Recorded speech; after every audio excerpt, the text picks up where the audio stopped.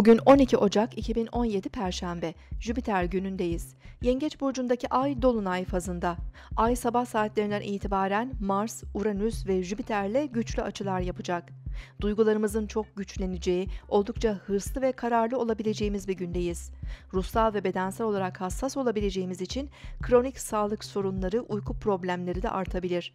Öğleden sonra 14.35'te Ay Güneş'le karşıt açı yapacak ve 22 derece Yengeç burcunda dolunay meydana gelecek.